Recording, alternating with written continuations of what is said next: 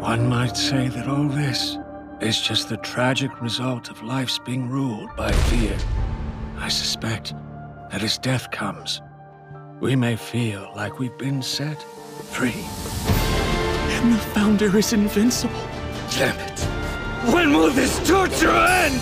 This nightmare ends right now! Why?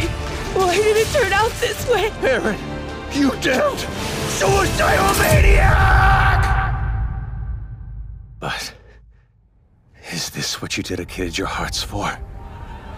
Did you die so that others could be trampled? No. The dream you painted of a world without titans was absurdly idealistic. A place of pure joy. Well, I don't give a damn! I'm still not gonna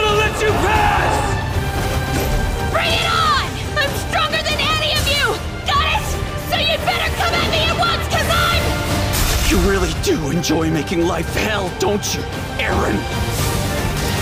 Fine. We'll do things your way. I'll see this through to the end!